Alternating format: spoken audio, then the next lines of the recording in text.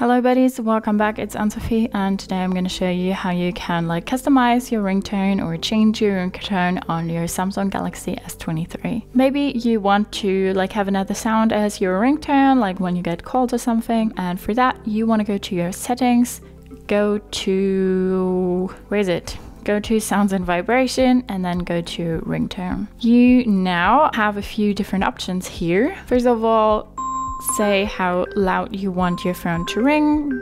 Then you have the vibrate while ringing. You can enable and disable this as you like. Then you can choose different, well, different songs or silent, then it will just vibrate.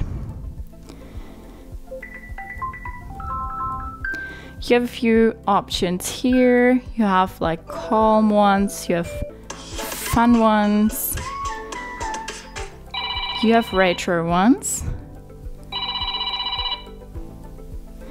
Um, and then you have this little plus here, so you can go ahead and then allow SoundPicker to access music and audio on this device. Allow, and if you have own music on your phone now, you can go ahead and like choose a song that you want to be your ringtone, choose it, and then set it as your ringtone. And now, when you get called, you can listen to your favorite ringtone or your favorite song, whatever you've set there.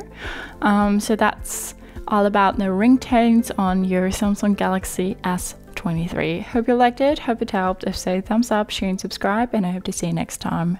Bye.